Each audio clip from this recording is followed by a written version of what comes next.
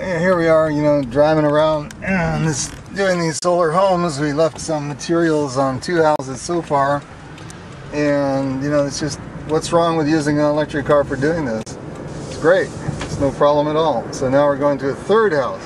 So actually doing the caravan portion of the solar tour, there's going to be a self-guided solar tour and then it's going to be, there's going to be uh, a caravan portion too caravan will be led by a RAV4EV because solar power and electric cars go hand in hand. Now that actually is a golf course. If there were any golf carts, you know, that's where they'd be. Everywhere you go, you are breathing in the excreta of all these cars. And there's the freeway. Whatever goes on on that freeway, you know, is is is spewed onto us. refineries are also sometimes have smells come over here too. This is a really beautiful area too. Uh, one of the nice things about this job, you know, of seeing, working with solar panels and putting in solar panels and selling solar panels, is that you go to the nice, get to go to the nicest places in the world and speak to the, the most interesting people in the world and the nicest people. And you get to see all kinds of native plants and uh, interesting uh, agri you know interesting trees and things like that. This is the Stoker home in, in Los Altos. Uh, these are you know sort of famous people uh, locally.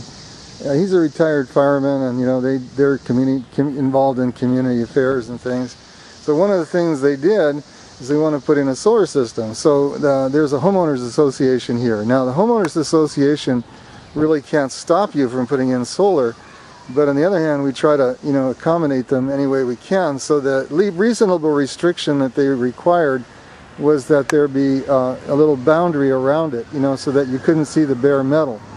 So that's that's what we did. We made it like that, and and it looks good. But you know, you can see it right from the from the street, and it it really looks good. I mean, you can tell that this house is powering five or ten of its neighbors.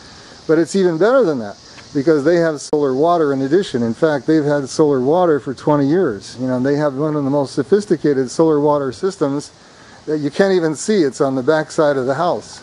And uh, that's the inverter. This is an SMA Sunny Boy. You know, right now it's producing about 1945 watts, which is, you know, about about two-thirds of its capacity. It's about 70% of its total capacity is being produced right now.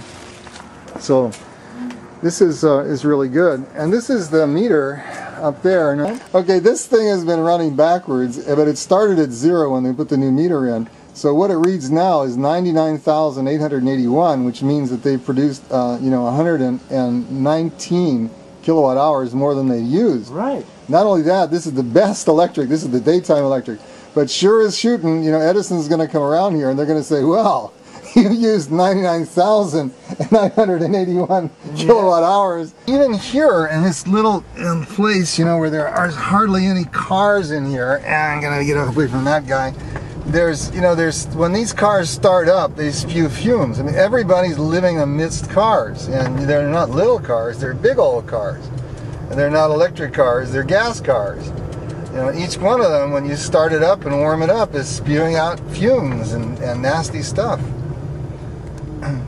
Now this up ahead is the right-of-way for the uh, Pacific Electric and that came up to Long Beach. But this green belt has sort of been restored. It's, uh, it's beautiful now. But uh, there's another house on the solar tour, and there it is.